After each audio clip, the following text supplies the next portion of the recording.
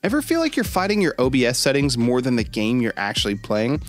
Yeah, I felt that way too. And I've spent countless hours tweaking and testing the different settings inside of OBS, and I think I've finally cracked the code for a smooth Twitch live stream. In this video, we'll go through the OBS settings that actually make a difference.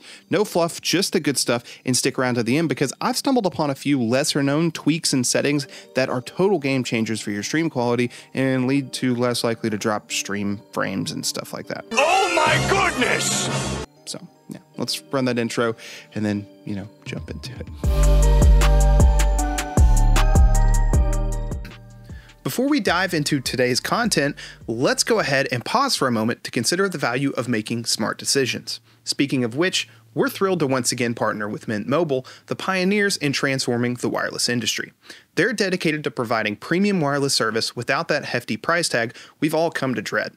Ever find yourself puzzled by the sky high cost of your wireless bill? Well, if so, Mint Mobile is on a mission to demonstrate that there's a smarter way to do things. For a limited time, new customers can enjoy any three month plan for just $15 a month. That's correct. You were hearing that correctly 50% off their unlimited plan.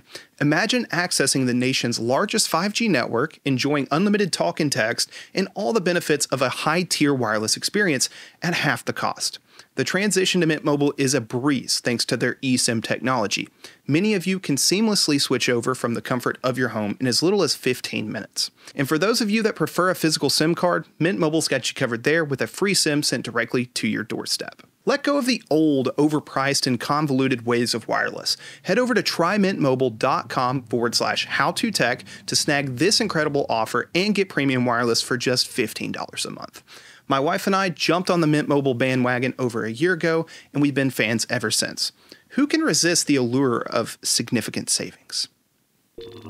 What's going on, guys? Chad here from How to Tech, the channel dedicated to helping you take your tech to the next level. And today we're going to be covering the best settings for OBS for streaming to Twitch. So if you guys want to stream on Twitch, well, here we go. Let's go ahead and get started. And move over to the computer. I'm going to pull up my notes and we're going to go through these settings. As far as that goes, these are a lot of settings that Twitch recommends, and then there's going to be a few things sprinkled in that's just like some extra flavor of me or somebody else going, hey, this is something else that you can do to make it a little bit better, or something that we all kind of know out there that could be useful. So let's get started first by going to our settings. So you can go to File or Settings, or you can click Settings down here in the bottom right hand corner. And then we're going to go to Video because this is the first place I think that matters more than anything is let's get started on the right foot. So let's go ahead and select the right resolution and frame rate.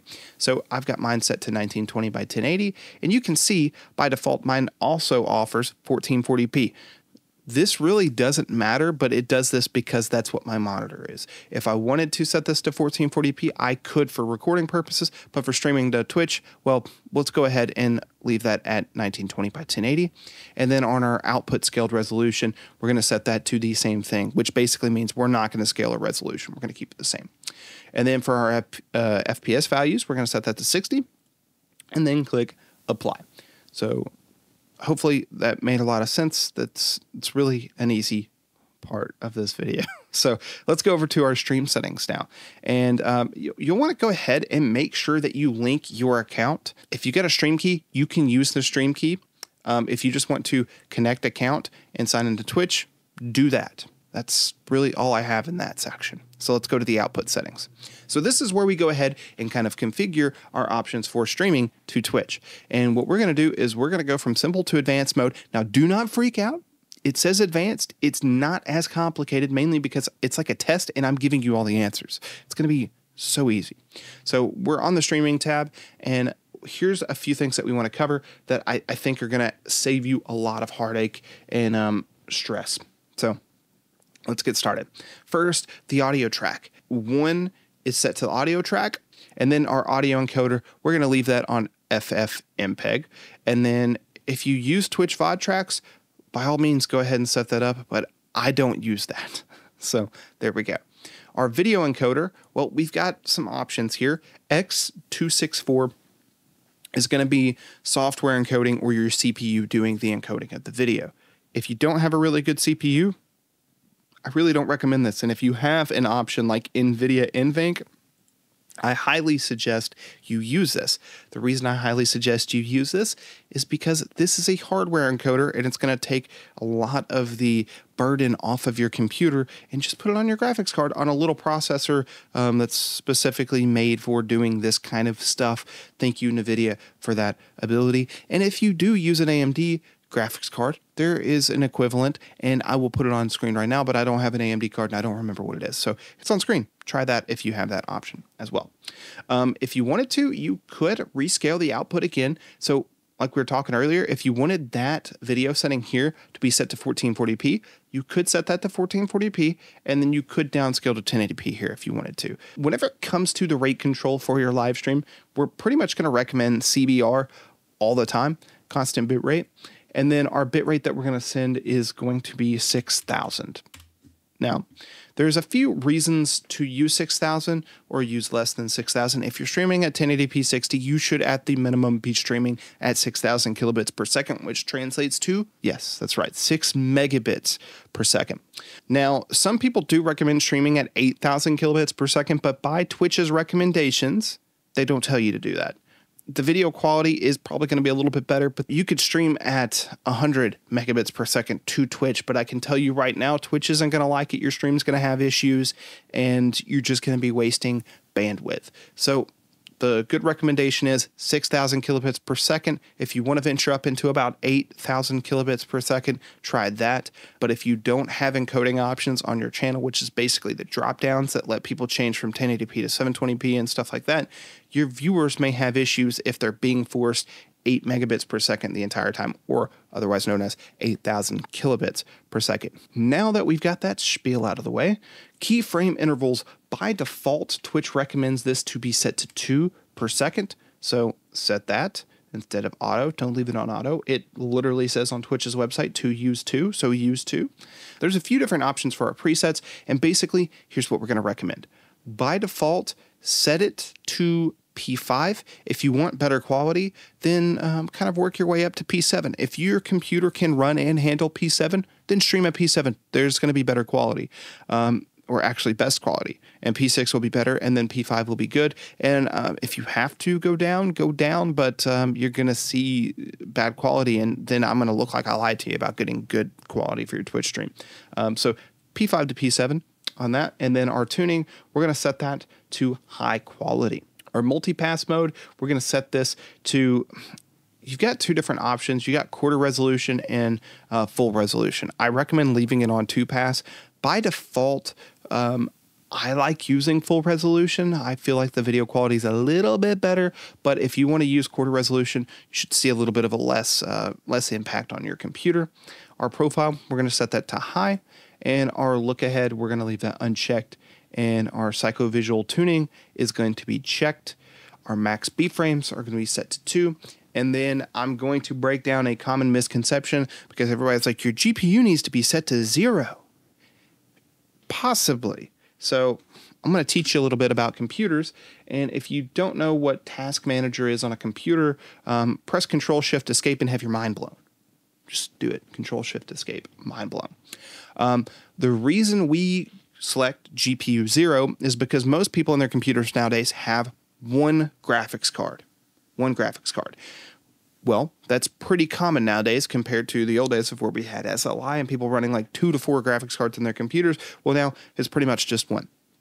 The reason why we select GPU 0 is because computers count weird. Computers start at 0.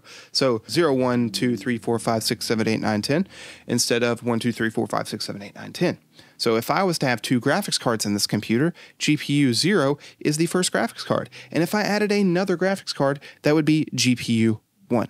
So things to keep in mind is for those of you out there that do have two GPUs in your computer, you can actually offload this onto another graphics card if you select it. So if I had, say, another NVIDIA graphics card, which I do have a few over here, I just don't have any on my computer, I can select that and then select GPU 1 and then now all my video games are going over GPU 0 and GPU 1 is just handling encoding for my live stream. So it's another thing to keep in mind that if you have an older graphics card that still does NVENC encoding, it might be a good option to try to keep that in your computer case and maybe offload it there, which would possibly change this number from GPU 0 to GPU 1. speaking of advanced settings, we're going to go over into advanced settings and talk about some more advanced settings. And we're not going to, I'm not going to blow your mind here. I'm not going to try to do anything crazy. And I'm telling you right now, whenever it comes to video renderers and all this other stuff, we're not going to worry about this stuff. Okay. I'm not going to scare you. We're not going to mess with this. Um, an honorable mention if you want to add stream delay here, you can do so. Another thing that is recommended to do is to enable the auto reconnect. What this is basically going to do is if your live stream drops and stops sending data to your, you know, Twitch, what it's going to do is it's going to keep retrying to connect and it's not going to just show that you're offline. So that's kind of convenient um, to keep all your viewers from just being like, oh, he just ended his stream or his internet went out or his power went out and they just left. This is going to be useful in that scenario of where it's still going to try to reconnect. Um, some other things that we would recommend, and um, I've got two different options here. And if you are having issues with your stream settings and um, you dropping frames, and I'm going to mention this because I've had this issue before. I've set up stream settings like this before, and I've had enough bandwidth, but for some reason my stream just keeps dropping frames and it's not consistent. Like it could be 45 minutes into a stream, I start dropping frames. It could be two hours into a stream, I start dropping frames. If it's something you really can't identify, I would suggest maybe enabling network optimizations and then also possibly enabling dynamically changing the bit rate uh, on the fly to manage congestion. And this right here can also help ton. These two settings I've seen work miracles for people that have had issues with streaming and are bit like just like I can't stream because every single time I go to stream I start dropping frames and my stream just is awful. So maybe enable those settings and that should work for you. So there you guys have it. That is the best possible settings that you could ever use for Twitch and live streaming. And if you disagree with me, please let me know in the comment section down below because it boosts engagement and I'd really appreciate it. So if you guys want to, please go ahead and also get subscribed because we're going to have future videos that come out just on OBS and talking about all the other different settings. If you guys haven't watched any of our other videos before, we've given out free transitions. Camera mask was something that we came out with last week and they're really cool and it's a whole pack of them. And then also just other videos on different plugins and reviews of those plugins on things for OBS and streaming on Twitch. So if you guys are interested, like I said, get subscribed, check out some of those other videos, and I will see you guys um, sometime soon. Thanks for watching, guys. I'll see you in the next video. Peace.